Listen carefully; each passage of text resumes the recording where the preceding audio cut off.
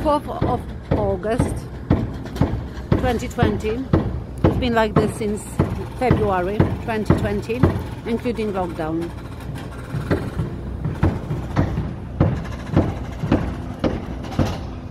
It's been like this from 8 a.m. until 6 p.m. every day, every single day.